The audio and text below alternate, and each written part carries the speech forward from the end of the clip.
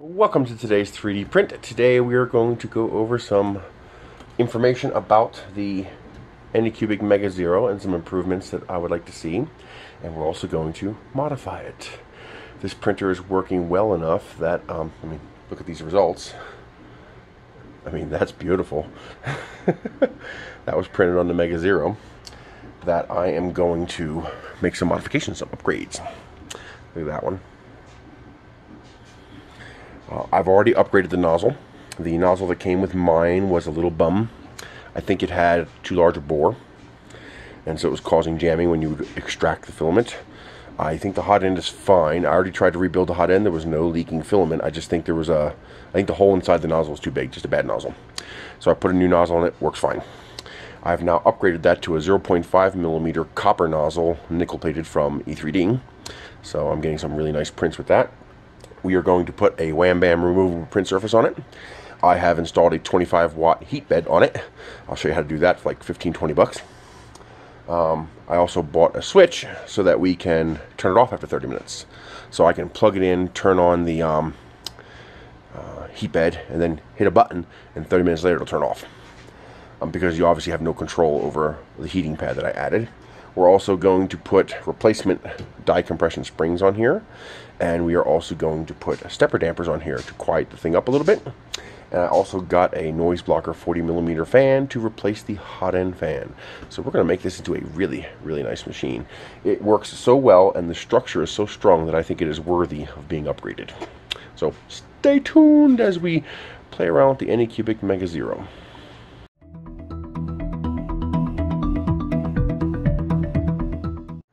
So we've already put a replacement nozzle on here.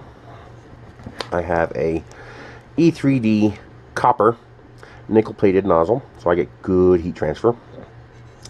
This I believe is a Creality um, silicon sock.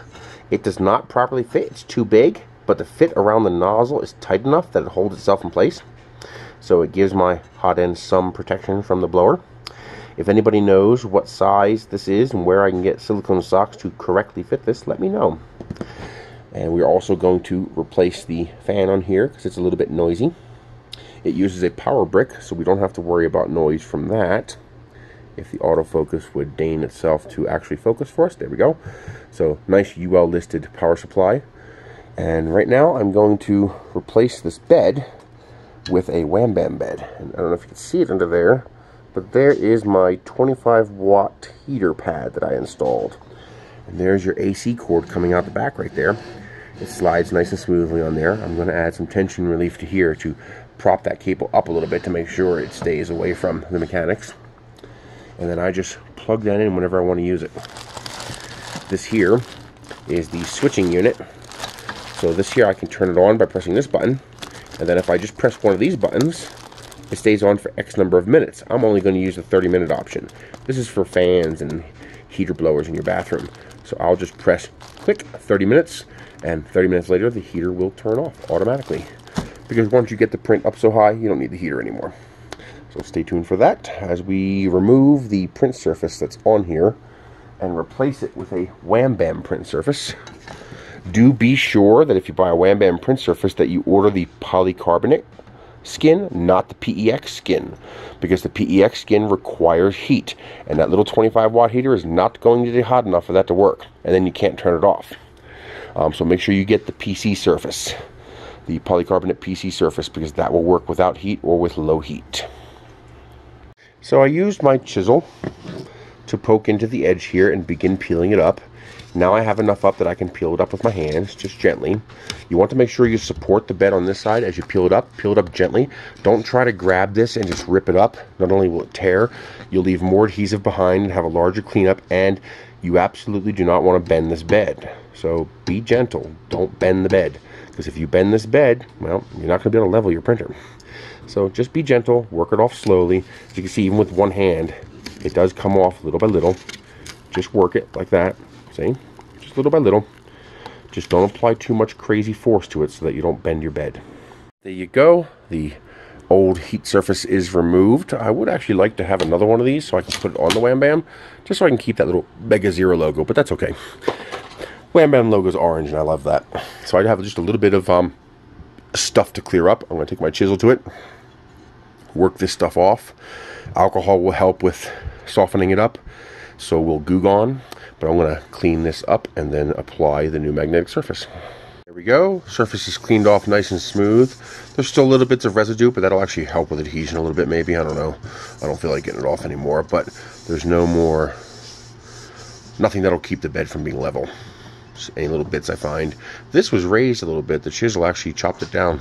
It's a little logo, CRF, whatever that means. But now we're going to apply the magnetic surface, and I've already applied the sticker to the steel plate magnetic surface is applied. I use the 235 by 235 Ender 3 sized Wham Bam and it is just a hair too big. So I did is I installed it perfectly on these two edges and then I used my chisel and just ran it right along the edge just like this and chopped off all the excess magnetic surface. Same thing back here. Ran my chisel along the edge, got rid of that chipped away at the corners to make sure they are nice and rounded so they don't peel up.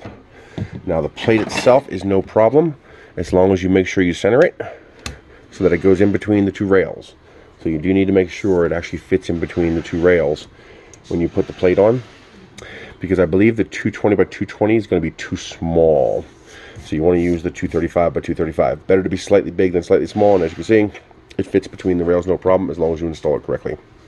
So you'll have a little lip on the steel plate on both sides, but that is fine because this is a magnet and a steel plate. But there you go. Wham Bam is installed. Now I got to re-level the printer. Although next this Tuesday I'm going to have to take it apart again to put the proper die compression springs on here. But at least now I have a flex surface that I can pop off and use to remove my prints. Much, much better.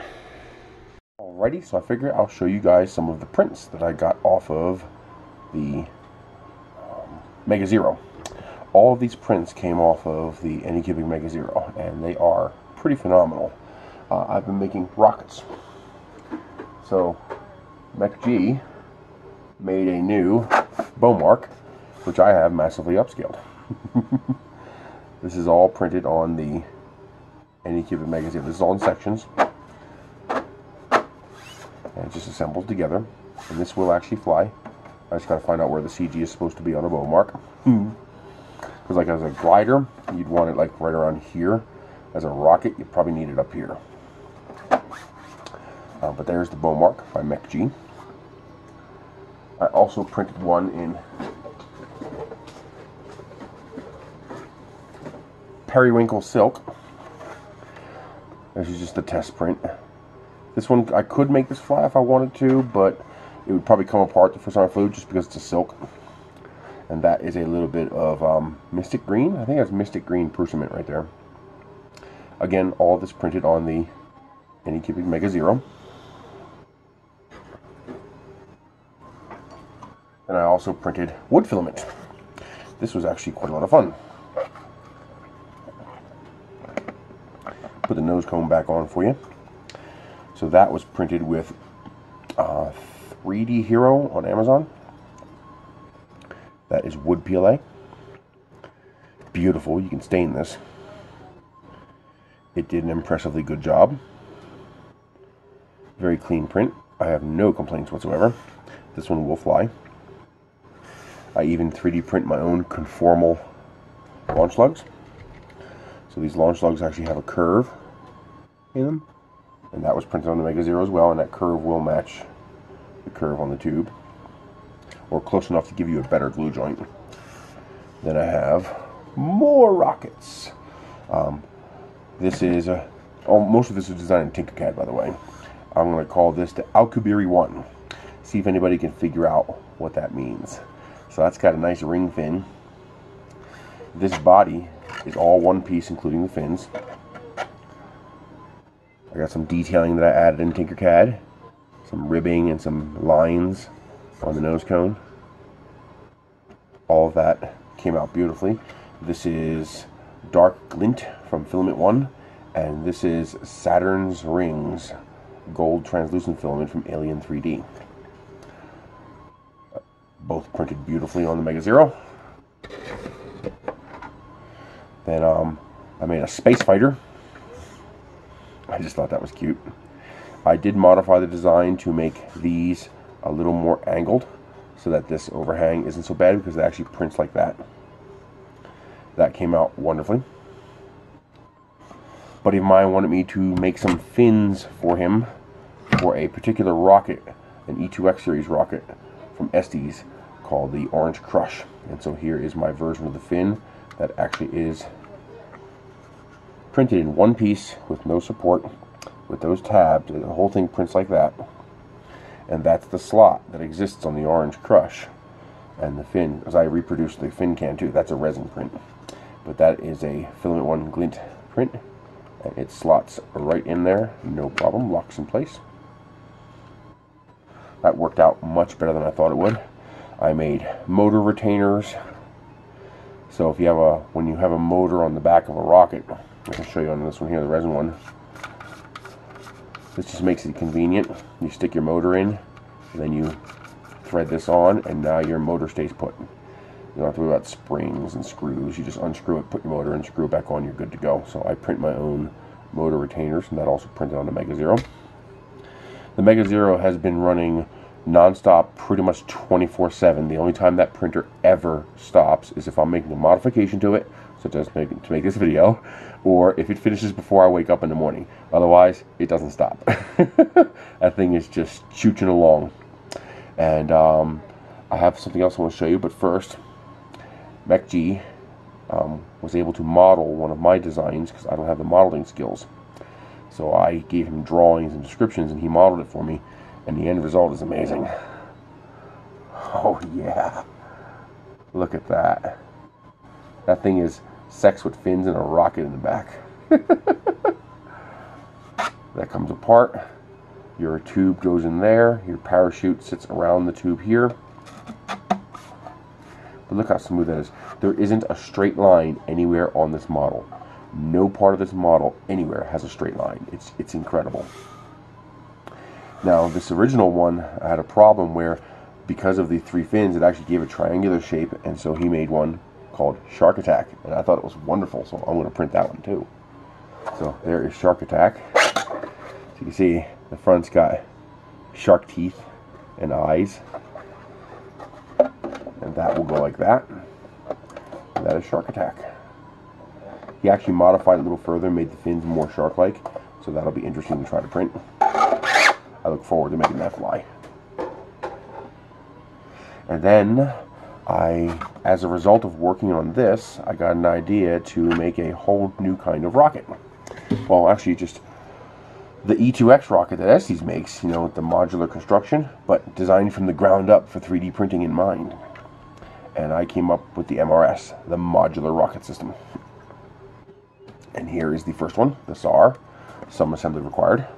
That's actually a resin nose cone. Again, you have your threads on the back. That's a resin print, but I also have it in PLA. The fins simply slide out. And they have that kind of a shape there. And that same kind of shape here. So these are all vase mode printed. Then the fin simply slots into the slot and the retainer actually keeps the fins in there so you don't even have to glue them. Well, the cool thing about making something like this is that the sky's the limit. It's 3D printing. So that's a three fin unit. I have a four fin unit, five fin, six fin, seven fin, eight fin, nine fin, ten fin, twelve fin. I gotta figure out how to do an 11 too. It's a pain in the butt. so I have different pieces. So this is a four fin can, and these are the accessories that I made for it. So here's a here's a fin. Okay. This is a little rocket booster kind of thing, you know, just to decorate your model. Here's a little shuttlecraft. So you're you're gonna fly down to your planet while your ship stays in orbit. There's your little shuttlecraft.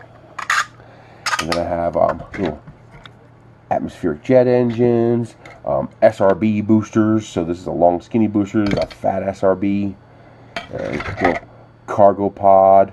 And one of the designs I came up with is this one, which looks really, really slick. Going to get a kick out of this. There you go.